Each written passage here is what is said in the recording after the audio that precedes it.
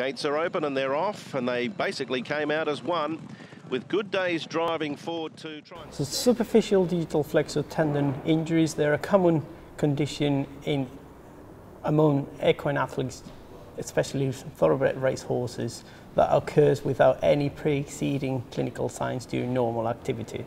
As a result, it is a significant health and welfare problem for um, the equine industry.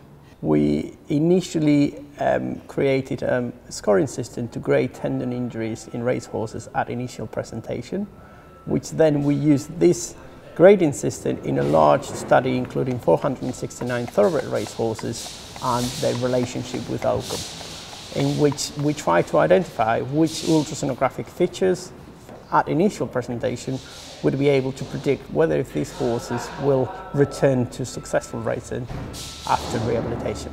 Luckily, we have found that there are two ultrasonographic features that will allow us to predict um, a successful return to racing in, in, in this specific population of, race, of horses.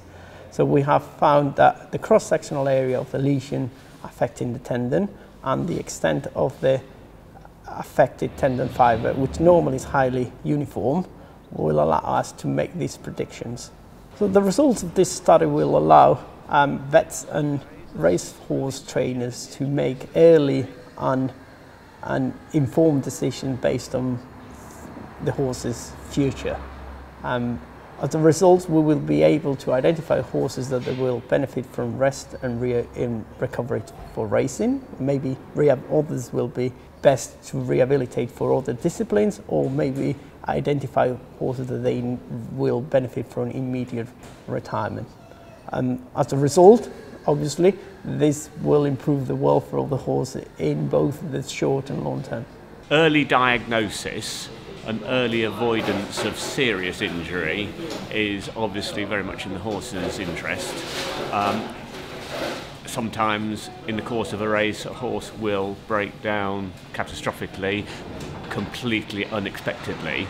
There's no hard and fast way of predicting perfectly what the future holds. So much depends on the ground, the horse, and various other factors. But anything which will help accurate prediction is going to be beneficial. Treatment for tendon injuries imply there is a financial and time implications which obviously trainers and owners will uh, benefit from knowing uh, what are the chances of that horse being a successful racehorse again following treatment. Stretches hard, takes the lead, and Good Days goes on to beat Midnight Promise and Premium Champion. They have